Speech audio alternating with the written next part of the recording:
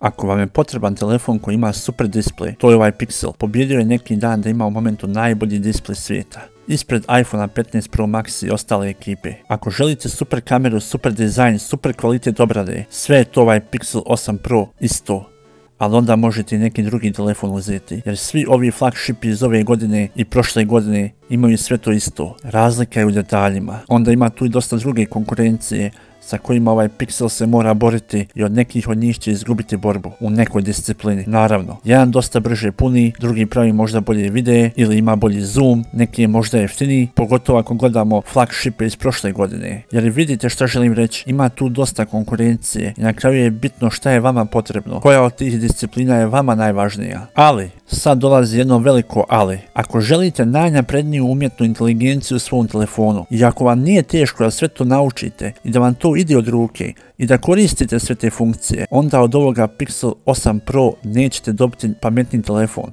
Onda dobijate najpametniji telefon svih pametnih telefona u momentu, u oktobru u 2023. Tu je ovaj telefon potpuno bez konkurencije. Svako ko prati najnovije telefone, vjerujem da sad kad vidi ovaj telefon, pogotovo radi ovoga metala okvira oko kamera, da zna da ja u ruci držim Google Pixel telefon. I meni je drago što ovaj Google Pixel i dalje ima tu svoju neku karakteristiku kao na primjer Samsung ili iPhone. Svako zna sad da imam Google Pixel telefon. U momentu najbolji display na svijetu. Ali uopšte ljudi, ovaj telefon mi tako lijepo leži u ruci, jer pozadi ova pozadina njegova, ova boja plava i ovaj osjećaj kad ja priđem sa palcem pozadi ovo, kad ga diram, znači to se tako lijepo osjeća, ja ne želim više ovaj telefon da ubacim u masku. Prodaje se u tri boje, Obsidian, Porcelan i Bay. Dobijamo ravan display koji je 6,7 inča veliki, dobijamo LTPO OLED sa skoro 500 pixel per inča. Osvježavanje displeja je od 1 do 120 i to je super. Pozadi ga štiti Gorilla Glass Victus 2. Ali šta je stvarno prva liga? Dobijamo do sad najjače, najsvjetliji jedan display na svijetu. Kaže Google može da svijetli do 2400 ja sam ga isprobao vani i to je ljudi nevjerovatno. Ja po najvećem suncu kad udara direktno u njega sve vidim kao da sam u stanu negdje.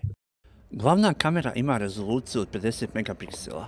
Senzor slike sa 1 kroz 1.3.1 inča to znači da kamera može propuštati više svjetla, snimajući više detalja. Imamo optički zoom od 5 puta, tu i digitalni zoom do 30 puta sa super res zoomom koji sprečava podrštavanje tokom snimanja. Meni su slike i video snimci odlični i ubijeđen sam da će i ove godine Pixel 8 Pro imati među tri najbolje kamere od svih flagship telefona 2023. a vjerovatno i 2024. Ali ovaj telefon ima jedan dodatni bonus što drugi nemaju, a to je dosta nekih funkcija što ni jedan drugi nema. I prvi put vam savjetujem da odete u postavke telefona na tips, jer toga je toliko puno da ja ne želim sada da svaku funkciju posebno predstavim, jer će onda video da traje dva sata.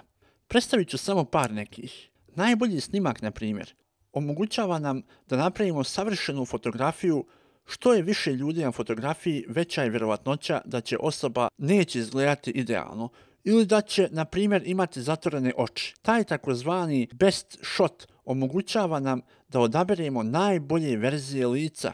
Video Boost koji donosi jednu funkciju koja se možda neće svidjeti svima. Vaši video zapisi se automatski učitavaju u oblak, u taj Google iCloud radi optimizacije. Kada koristimo video boost na Pixel 8 Pro i dalje ćemo imati naš video visokog kvaliteta, ali će se video također otpremiti u oblak u Google iCloud, gdje će super Google kompjuteri vaš video zapis optimirati. I onda nakon nekoliko sati optimiranja, bit će taj video vraćen na vaš telefon u vašu galeriju slika sa dosta boljim kvalitetom slike. Dosta čak bolje nego i kod iPhone 15 Pro Max. Ovaj isti proces također omogućava snimanje po mraku, takozvani night sight video. Po prvi put na Pixelu možemo praviti kako Google obećaje dosta najbolje video snimke po mraku što što postoje na jednom telefonu uz pomoć superkompjutera od Google-a. U prevodu Google-ovi kompjuteri obrađuju vaše snimke i vraćaju ih optimisane na vaš telefon. Oba dvije ove funkcije dolaze kasnije ove godine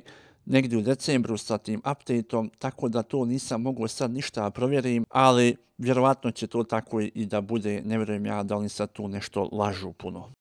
Imamo sada ovu funkciju Magic Editor. Možemo sa tom funkcijom da radimo šta god mi želimo sa, sa našim slikama. Možemo objekte da povećamo, da smanjimo, da promijenimo boju neba, da, da privučemo, da ovo auto nestane sa slike ako nam smeta. Znači tu možemo na šta hoćemo. Evo jedan mali primjer sa, taj, sa tim Magic Editor šta možemo da radimo sve. Idemo na postavke, stisnemo ovdje.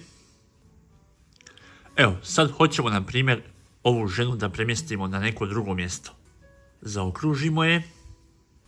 Kompjuter je već prepoznao. Samo da napomenem, treba nam da smo povezani sa internetom, da možemo ovu sliku da obradimo kako mi hoćemo. Znači, mi smo izabrali sad tu ženu, dotaknemo je i možemo je staviti ovdje, na primjer. Evo, jel vidite? Znači, mi smo sad prema, e, premjestili ovu ženu sa lijevo na desno. Nju više tu nema, ne vidimo je više tu. Sad je ona ovdje na drugom mjestu. Otprilike traje 10 sekundi, 8 do 10 sekundi da Google telefon to obradi, a možemo i druge stvari da radimo. Možemo sada ovo auto da napravimo da nije tu na ovoj slici. Evo vidite, auta više tu nema. Mi možemo kasnije sa dodatnim opcijama i da napravimo da ovo crno tu što je ostalo da se to ne vidi. Ali ja sam već rekao prije, ovaj telefon ima toliko puno opcija da ovoga puta se stvarno isplati otići u te e, opcije u ove ovdje tips i support. Tu sada imamo sve tips koji nam trebaju za inteligentne funkcije, za kamere, šta god mi želimo. Imamo toliko puno toga da otkrijemo te neke inteligentne funkcije koje nam olakšavaju da radimo mi neke naše one obične stvari koje radimo. Evo, mi smo sad tu na nekoj internet stranici i sad mi želimo da pročitamo neki tekst. Znači, mi možemo bilo koju stranicu da, da, da samo prevedemo sa jednim dodirom. Evo, vidite ovo.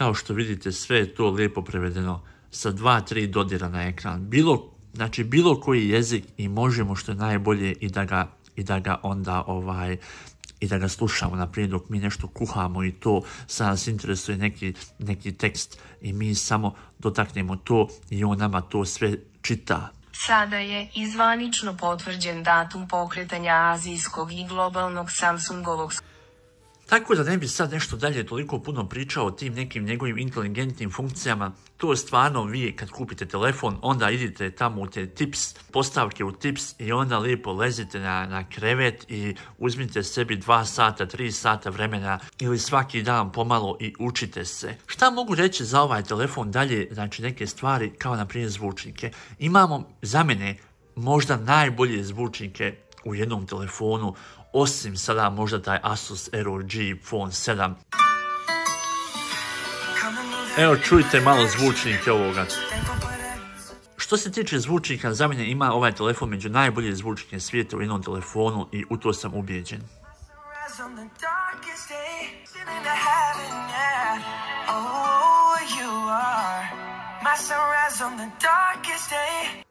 Kada je baterija u pitanju kod ovoga telefona, dobijamo tih 5050 mAh tu bateriju. Otprilike kao i prošle godine kod Google Pixel 7 Pro nije se tu nešto toliko šta puno promijenilo. Uglavnom, e, meni na kraju dana bude još po jedno 25-30% baterije, ali ja punim svaku noć, tako da meni to nije problem. Imamo tu punjenje bez kabla, brzina punjenja je, ja mislim, 30 ovih vata. Otprilike traje to sad vremena se napuni, ali meni to nije problem, ja punim telefon po noći, onako je ovako svaku noć, svaki telefon, nebitno koji god ja telefon imam, ja to punim po noći, tako da meni to nije problem. Svako mora tu za sebe da odluči šta mu je najbolje, na koji način će da puni svoj telefon i, i koliko ko šta troši, da li neko igra puno igrice, ovo, ono, sve to zavisi. Ja punim svaku noć i meni, to, meni je to sasvim ok, od uvijek je bilo. Šta sam primijetio nešto interesantno na ovom telefonu je kada telefoniram na njega, to se tako kristalno lijepo čuje sve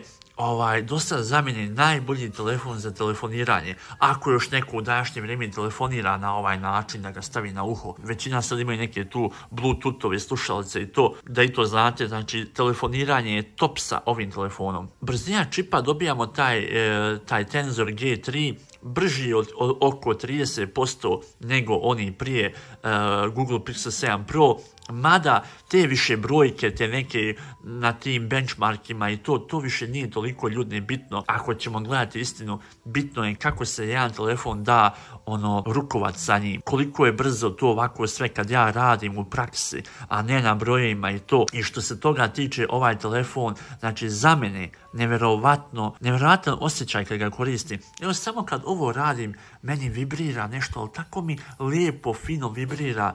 Evo ovo Znači, to tako lijepo se osjeti, ono, svaki moj potez koji, koja, koji uradim na njemu, to se čuju vibracije neke i meni je to fantastično. Ali uopšte kad se ide na neke stranice od interneta, ja mogu sa ovim telefonom da uživam dok ga koristim.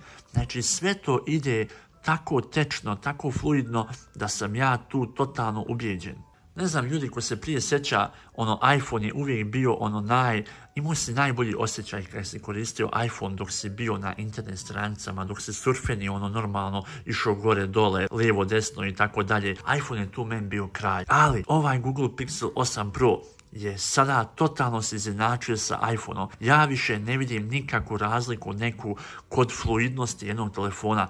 Oba dva su perfektna. Znači i iPhone, ovaj, bilo koji iPhone, naravno od uvijek je bio, ali sada i ovaj Google. Znači nema tu ništa meni da ovaj telefon zaostaje, da, je, da, da mi osjećaj malo ono loš što ga ja koristim, da, da nije tako fluidno kao što je prije bilo uvijek na iPhoneima. Sad je na ovom telefonu sve perfektno. Ljudi, evo, ja otvorim stranicu, ona se otvori u roku od milisekunde. Znači ja nemam tu nikakve neka više usporavanja, šta god ja poželim da uradim, ovaj telefon čita moje misli i ja sam tu totalno ubijeđen. Šta bi rekao za kraj i da li kupiti ovaj telefon? Ja kažem da. Ja kad dajem velike pare za telefon, hoću da imam onda i najbolje što je u momentu moguće. Jer ko zna i koliko dugo će neko imati taj svoj telefon, tako da nije loše imati ono dosta napredan telefon da nam može biti dobar i za 2-3 godine. A to je potpuno ovaj Google Pixel 8 Pro. Zašto? Dobijamo i 7 godina Google Update, znači do 2030. Ko znači želi da kupi telefon i da je miran 7 godina, onda možete bez problema njega kupiti u neku dobru masku i dobro ga staklo staviti, mada da gledao sam neke testove već na internetu da je ovaj telefon skoro neuništiv. Evo kao što vidite ovdje na ovome videu, znači ovaj momak ga je pokušao da ga uništi na razne načine i jedva na kraju ga je samo sa vatrom uspio da zapali jedan dio toga ekrana, ali inače nije mogao da ga slomi, što nije tako kod drugih telefona. Znači na to je mislio Google, dosta je robustan telefon i otporan. Znači tu ste na sigurnoj strani kad kupite Google Pixel 8 Pro da se neće tek tako raspasta ako negdje ispadne ili ako sjednete slučajno na njega. Ako se sad pitate šta je bolje kupiti, ovaj Google Pixel 8 Pro ili recimo Samsung S23 Ultra. Ja opet kažem Google Pixel 8 Pro jer za mene ima tu neku inteligentne te funkcije koje se meni sviđaju. Imamo 7 godina Google Update i uopšte mlađe godinu dana što se love tiče, otprilike sad oni isto koštaju. Ne znam da li ste vi primijetili, ali Samsung S23 Ultra jako sporo gubi na cijeni. To se malo promijenilo ove godine kod Samsunga. Ona S22 Ultra je brže opao što se tiče love, ali ovaj drži svoju cijenu. Ja bi ipak ovaj Google Pixel 8 Pro prije kupio nego sada S23 Ultra radi tih nekih umjetnih inteligencija što on u sebi ima, a ovaj drugi nema. I eto recimo da tih 7 godina Google update to može pomogne ono kad budete neka prodavali telefon, ono možete reći dobijat će još 4 godine Google update. Eto, to je sve, ljudi, bilo što se tiče ovoga Google Pixel 8 Pro, to će izgleda biti moj novi telefon za naredno vrijeme.